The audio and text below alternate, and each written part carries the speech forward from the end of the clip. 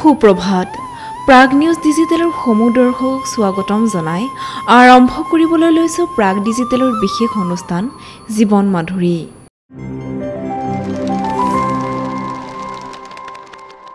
হনুমান চালিচাৰ গুৰুত্ব কিমান সেই কথা আমি প্ৰায়ে নজনা নহয়।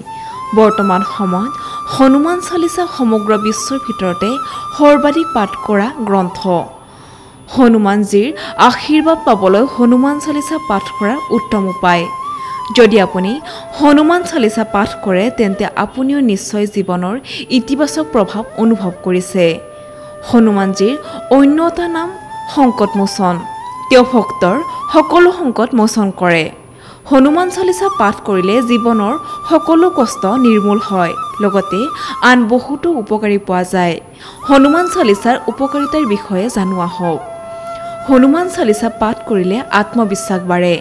হনুমান চালিচা পাঠ কৰিলে আপোনাৰ আত্মবিশ্বাস নিৰন্তৰ বাঢ়িব। আপোনাৰ ইচ্ছা শক্তি শক্তিশালী হৈ উঠিব। যিসকল আত্মবিশ্বাস দুৰ্বল আৰু ইচ্ছা শক্তিৰ অভাৱ তেওঁলোকে নিয়মীয়াকৈ হনুমান চালিচা পাঠ কৰা উচিত। যদি আপুনি কোনো কথাত ভয় খাইছে যদি আপুনি সাহসৰ অভাৱত সৰু সৰু কথাবোৰত নাৰ্ভাছ হৈ পৰে তেন্তে হনুমান চালিচা পাঠ কৰিলে আপোনাৰ উপকম হ'ব।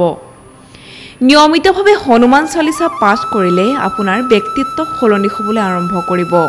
ৰাতি শুই থকাৰ সময়ত হঠাতে ভয় খাই উঠা বা চক খাই উঠা শিশুৰ মূৰৰ শীতনত হনুমান চালিচা ৰাখিলে ই সমস্যাৰ অন্ত পৰিব।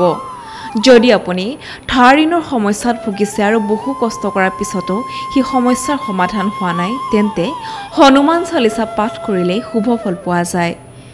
জ্যোতিষশাস্ত্ৰৰ মংগল গ্ৰহত ঋণী বুলি গণ্য কৰা হয়। এই অৱস্থাত হনুমান চালিচা আবৃত্তিৰ লগে লগে আপোনাৰ মংগল গ্ৰহটো শক্তিশালী হ'বলৈ আৰম্ভ কৰে। যদি হনুমান চালিচা পূৰ্ণ ভক্তিৰে দৈনিক পাঠ কৰা হয় তেন্তে অতি সোনকালে ধাৰৰ পৰা মুক্তি পাব।